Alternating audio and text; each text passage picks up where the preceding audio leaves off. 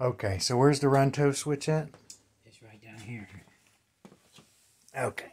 And it's off right now. Now you can charge it when the when the run tow switch is If the run tow switch is off, nothing happens.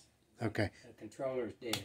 Okay, so now when it's on, the controller's on. Is there a light on, or does it only come on for a minute? It Okay, blinks it one blinks. time. But what about your app? Now does your app say?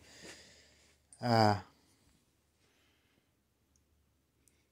It's got to go okay, back. there's the tack. It's a TAC2, faults. Okay, so now waiting for key. Now if we turn the key switch on,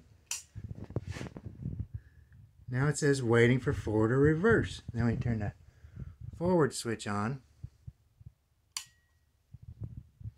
Now it says waiting for foot switch, which is the accelerator. Now if we just barely touch this, then the solenoid kicks on. It says waiting. What's it say? For throttle. I Okay. gotta give it some throttle. That's enough. Whoa!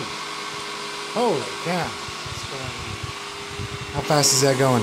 3024. See, I got it set. Now you're saying in reverse it might slip a little bit? No, it don't slip. Okay.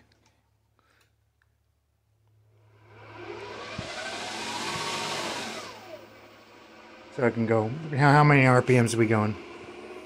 Thousand. See, it speeds up though. Why does it speed up? I don't know. Probably because there's no load. Oh, there's no load. Okay. Now it's going slow. How now? How many RPMs? Oh, it keeps going. let's see what it goes up to.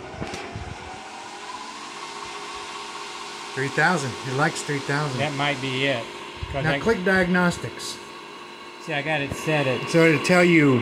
I got it set at 13 mile an hour. Okay. Both ways, Okay. and so that's probably as fast as it'll go. Okay. Beautiful. That's all you need. Yeah. You Oh yeah. For a boat.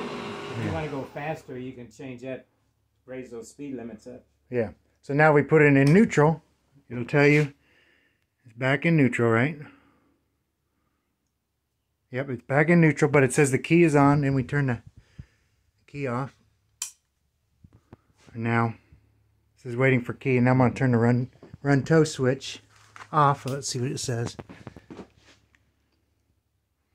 Now it says we lost communicate. That means the controller is off, right? Yes. Okay. mhm.